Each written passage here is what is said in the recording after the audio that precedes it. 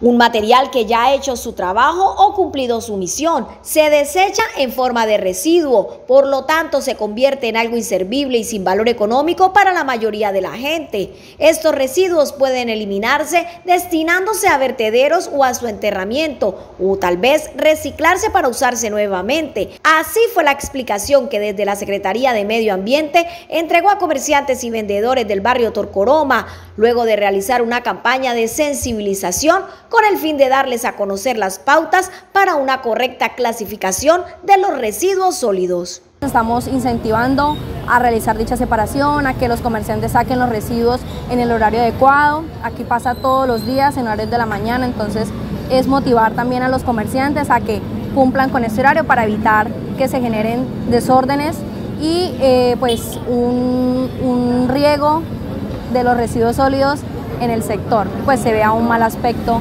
también aquí en los alrededores de Torcoroma. La búsqueda es mejorar la convivencia en el sector, ya que muy cerca se encuentra la plaza de mercado y un sinnúmero de locales comerciales. De esta manera la comunidad en general logrará que sus sitios de trabajo y todo el sector se encuentre totalmente limpio. Hay algunos que sí saben cómo, en qué lugar va cada uno, como hay otros que no como también sería importante mantener el puesto, las, calles, todo limpio, me parece algo muy importante, muy chévere de que ustedes estén haciendo eso.